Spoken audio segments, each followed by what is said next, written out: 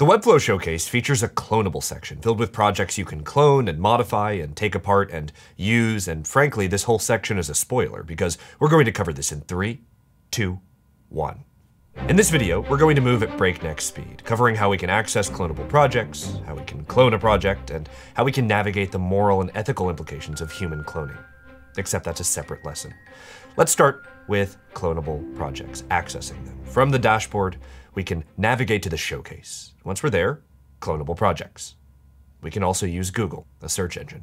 When we see a project we might want to clone, we just click it. That's accessing clonable projects. How do we actually clone one? When we find a project we like, just press clone. A few options here, and by a few, we mean one. Choose where you want the clone project to end up. For us, we're going to have it end up in our personal dashboard. Of course, when we go up and actually create the project, we can name it anything we like. We'll name ours Dolly.